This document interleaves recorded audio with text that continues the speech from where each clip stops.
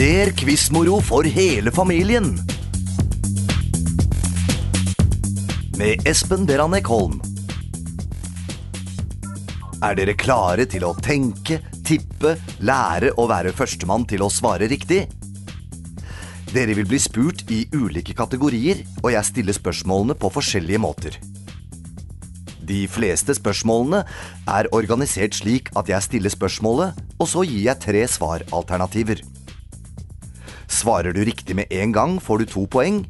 Avgir du riktig svar etter å ha hørt alternativene, får du ett poeng. For eksempel Hvem er dronning i Norge? Er det Sonja, Tone Damli Aaberge eller Märtha Louise? Svar Sonja. Det er også en kategori som heter Jeg gir deg fire hint. Da gir jeg deg et nøkkelord etterfulgt av fire hint. Klarer du oppgaven på første hint, får du fire poeng. Etter andre hint tre poeng. Etter tredje hint to poeng.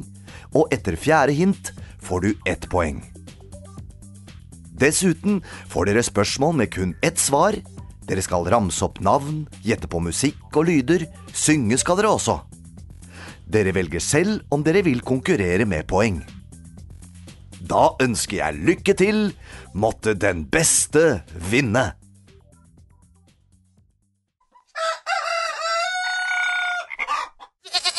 Dyreverden. Hva heter avkommet, altså barna, til en hestehoppe og en eselhingst?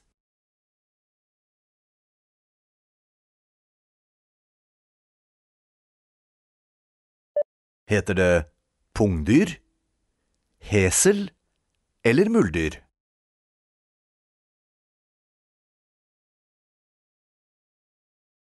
Svar muldyr. Hvor mange stadier er det i en sommerfugls liv?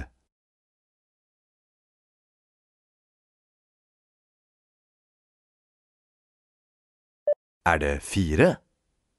Egg, larve, puppe og sommerfugl? Er det to? Foster og sommerfugl? Eller er det tre stadier? Egg, knopp og sommerfugl?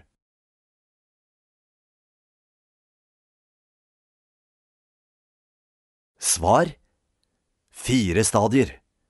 Egg, larve, puppe og sommerfugl. Hva heter den minste fuglen i Norge?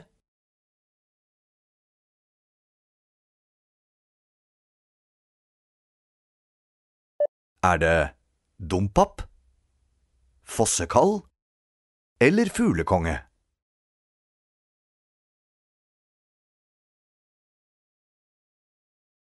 Svar Fuglekonge. Hvor mange ben har tusenbenarten som har flest ben?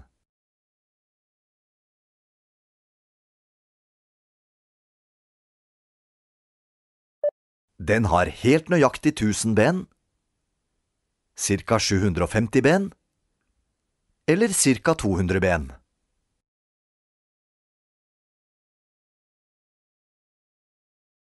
Svar ca 750 ben. Hva slags dyr er blekkulf?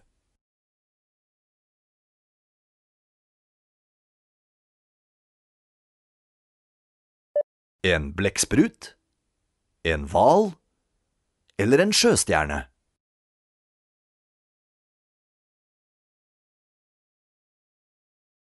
Svar En blekksprut.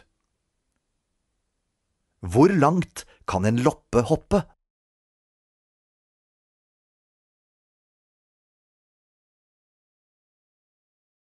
Et steinkast? 35 centimeter? Eller 2 millimeter?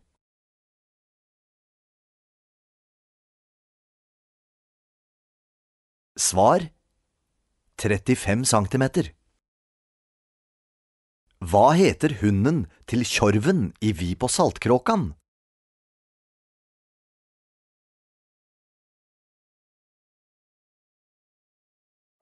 Heter den Lilla Gubben? Nelson eller båtsmann?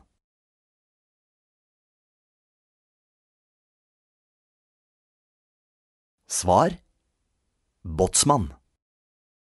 Hva er en fjording?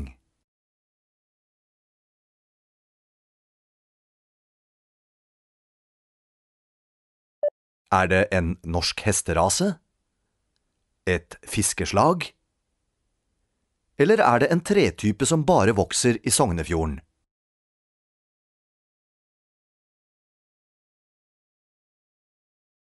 Svar En norsk hesterase.